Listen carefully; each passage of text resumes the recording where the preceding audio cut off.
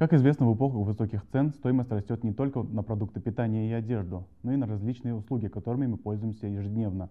В том числе речь идет и о мобильном интернете, который давно уже стал неотъемлемой частью нашей жизни. Как известно, в этом году в стране выросли цены на тарифы мобильной связи. Знаете ли вы, что в Таразе, где жители тоже ощутили повышение тарифов сотовой связи, появились бесплатные точки Wi-Fi сетей для жителей? Как и где горожане могут пользоваться беспроводным интернетом? Ответ узнала наша съемочная группа.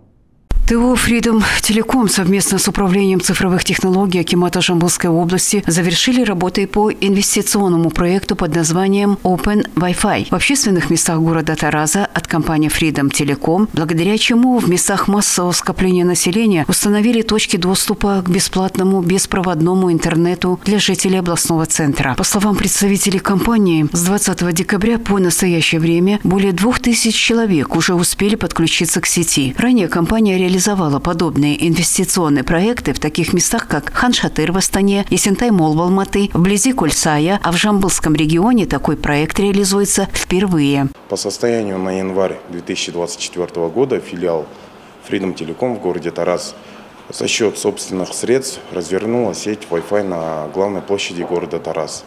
Куне Тарас на аллее Харбат 1, 2, 3, а также в Центральном парке имени Турара Рускулова. Подключение и пользование стал, э, сетью является полностью бесплатным.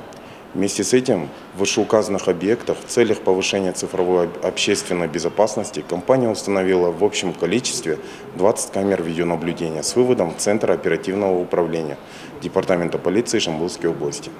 Камеры видеонаблюдения на улицах города, бесплатные сети Wi-Fi в общественных местах, электронные табло на автобусных остановках – все это результат работы по цифровизации города. Областной центр развивается с каждым днем, а власти Тараза стремятся создать для жителей комфортные условия для проживания и работы. Что же касается компании, которая поддерживает и реализует данные инициативы, то жители ею довольны. Кулиш Мурзакова, Адиль Сейлаубеков, Алимжан Ахпаев, 77 Ньюс.